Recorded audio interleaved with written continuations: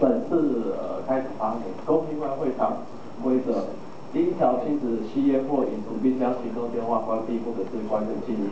对于发言者之陈述意见，应避免鼓掌或鼓噪。他人发言时不得干扰或者提出质疑。第四点，发言时应针对案件相关陈述意见，不得做人身攻击。第五点，公听进行中，录音者并本部自立地点录音或照相，为不得影响会议秩序。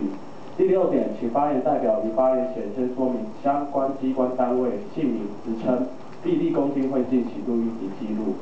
第七点，事先登记而不能与会之团体或个人，别为请代理人陈述意见，同时请委任陈述意见之代理人先行将委任状交予给公听会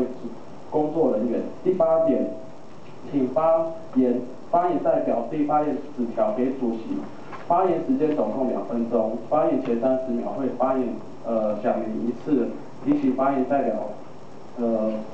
然后发言到呃发言结束时会按铃第二声，发言代表应立即停止发言。第九点，为了避免